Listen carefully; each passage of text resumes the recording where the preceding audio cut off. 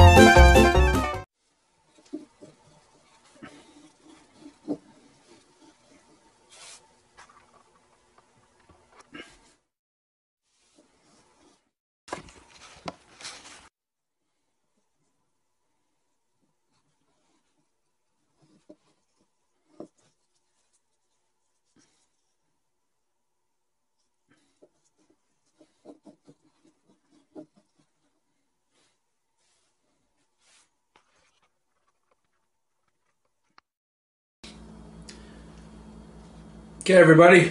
Hope you enjoyed the video. And uh, if you did, please subscribe.